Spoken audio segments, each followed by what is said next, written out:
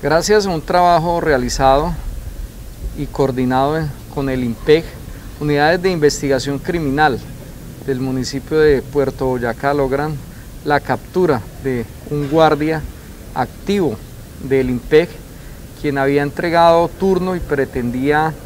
ingresar estupefacientes a este centro penitenciario. Eh, le fue hallado en su poder un total de 165 dosis de marihuana y 9 celulares que pretendían ser entregados a los internos de este centro